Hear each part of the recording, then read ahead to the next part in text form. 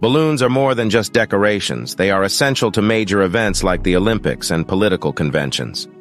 One man stands out in this vibrant industry. Treb Heining.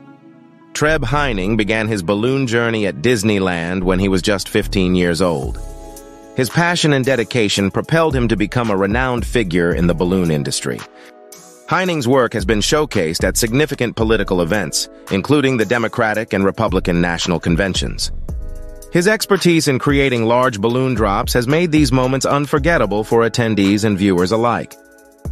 In pursuit of his passion, Heining founded Balloon Art by Treb, a company dedicated to crafting unique balloon displays.